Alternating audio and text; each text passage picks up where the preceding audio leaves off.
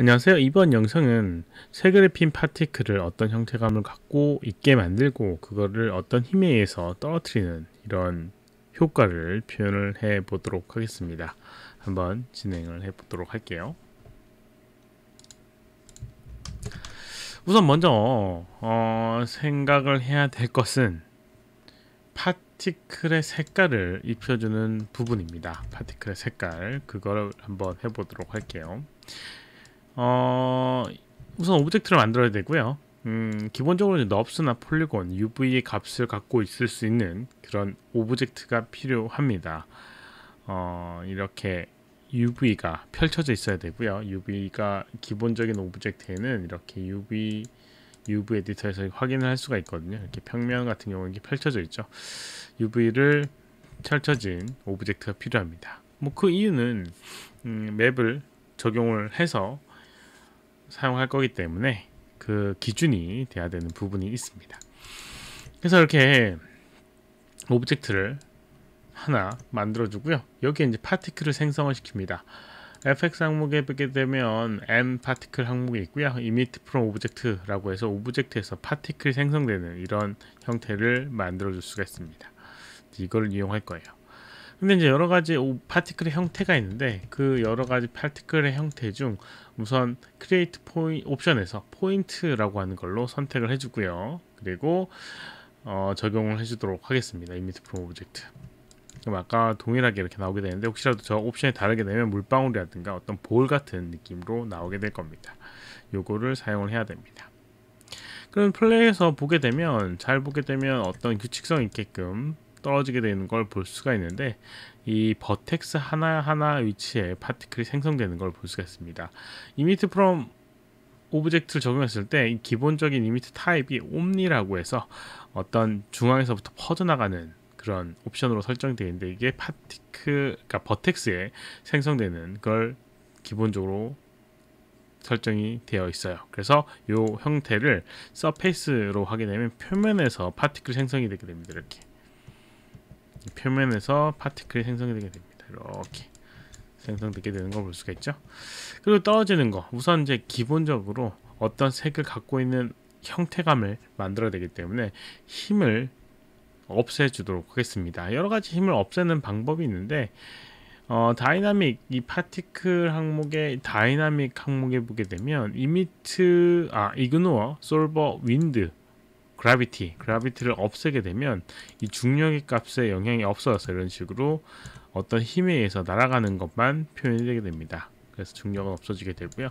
이 날아가는 힘 같은 경우는 emitter에 또 갖고 있어요. emitter에 보게 되면 여기 스피드 항목이 있고요. 그 다음 normal speed라고 되어 있는 부분이 있는데 그거에 의해서 생기는 부분입니다. speed가 0이면 뭐 normal speed의 의미도 없기 때문에 이렇게 표면에서 생성이 되는 걸 볼 수가 있어요. 이렇게요. 그리고 이제 색깔을 입혀줘야 되는 부분이 있습니다. 어, 색깔을 입힐 때 주의하실 점은 아까 전에 생성할 때 object의 UV를 확인해야 된다는 부분도 있고요. 또 다른 부분이 있으면 생성되고 있는 object에만 적용을 할 수가 있습니다. 그러니까 그것도 신경을 써야 돼요. 밑으로 내려보도록 하겠습니다. 여기 보면 texture emission attribute라고 하는 항목이 있고요. NURBS surface 그리고 polygon surface only라고 되어 있습니다. 그리고 particle color와 emit rate라는 게 있는데 particle color는 말 그대로 particle 색깔을 조정해 주는 부분이고요. 어떤 특정 색 텍스처를 적용할 수 있는 거고요. 이, 어, texture rate라고 하는 거는 음영 값에 의해서 어, 발생하는 그런 emit의 값을 제어하는 부분입니다. 우선 particle color라고 하는 거에 어떤 텍스처를 적용해 주도록 하겠습니다. 여기 있는 어, 항목을 클릭을 해서요. 여러 가지 기본적인 텍스처를 사용하던가 아니면 파일에 어떤 특정 이미지를 불러와도 됩니다.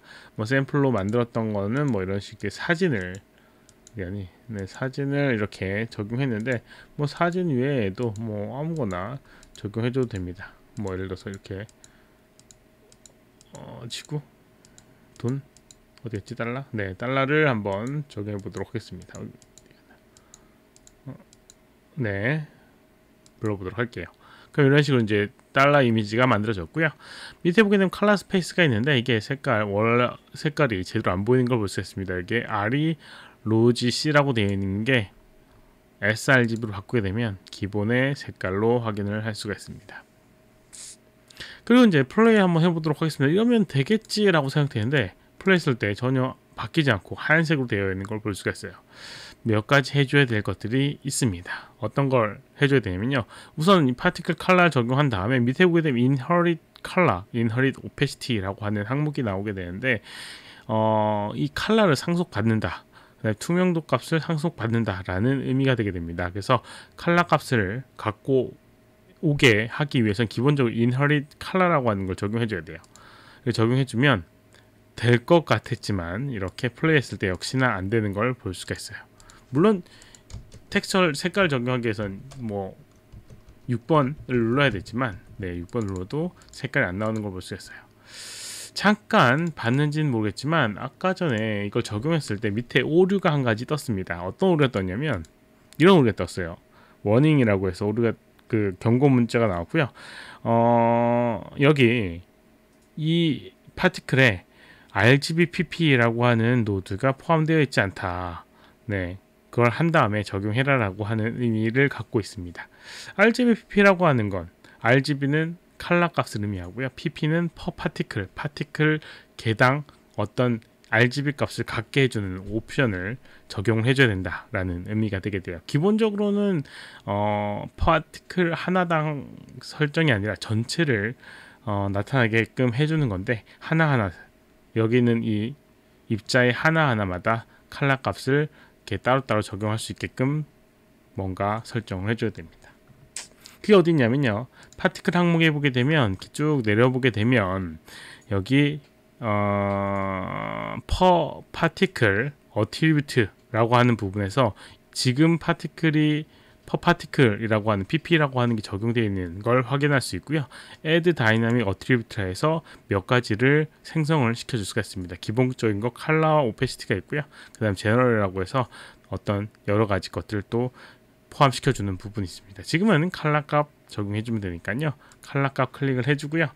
그 다음에 이렇게 add per particle attribute pp attribute를 추가한다라는 걸 선택을 해줍니다. 그리고 add attribute를 하게 되면 이렇게 rgb pp라고 해서 per particle이 하나가 생성이 되게 되고요. 이 상태에서는 플레이 해보게 되면 이렇게 칼라 값이 나오게 됩니다. 근데 잘 안 보이는 부분이 있어요.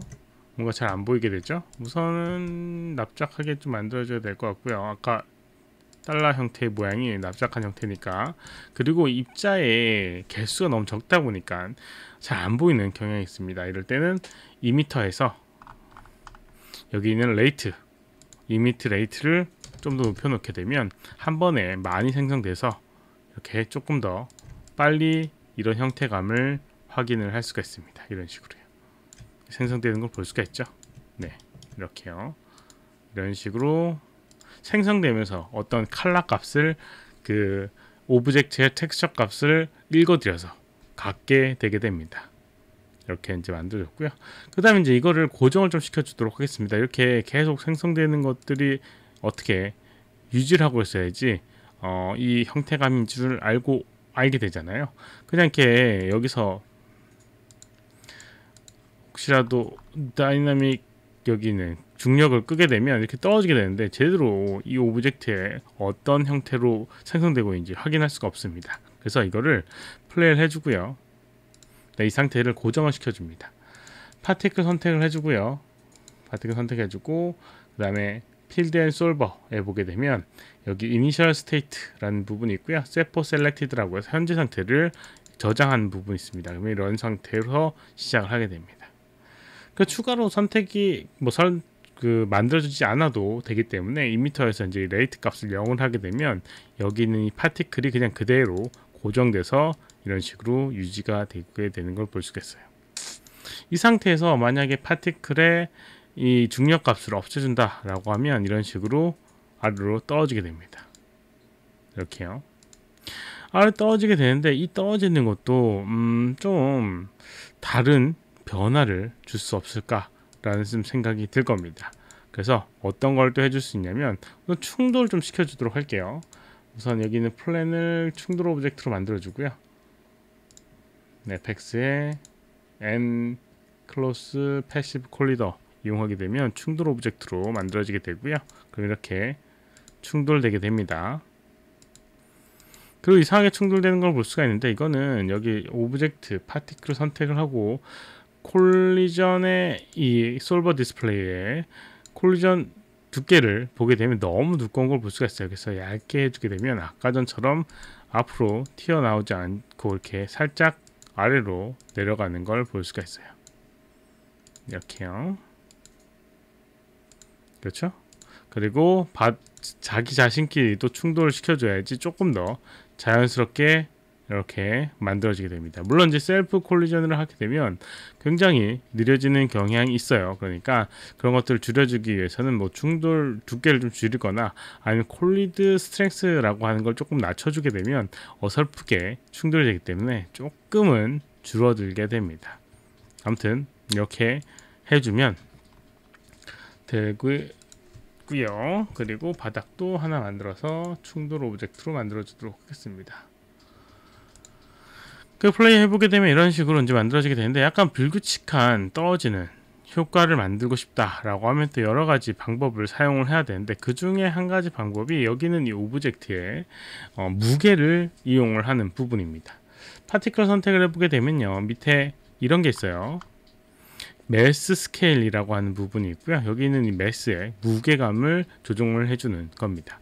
근데 매스라고 하는 거는 사실상 떨어지는 속도랑은 상관이 없어요. 근데 0일 경우에는 무게가 0일 경우에는 그게 어, 떨어질 수가 없는 그런 존재가 되게 됩니다. 그래서 여기는 이 랜덤 값을 랜덤의 값을 주고 그 범위를 0에서부터 이렇게 그러니까 1에서부터 0까지 이렇게 주면 0일 경우에는 남아 있게 됩니다.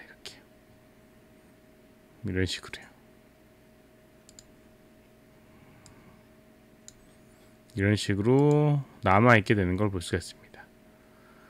완전 0일 경우에는 남아있게 되고요. 조금 낮을 경우에는 조금씩 조금씩 흘러내리게 되고 또 서로 충돌되고 있는데 그거 서로 간의 이제 무게감 때문에 조금 어, 차이가 나게 됩니다.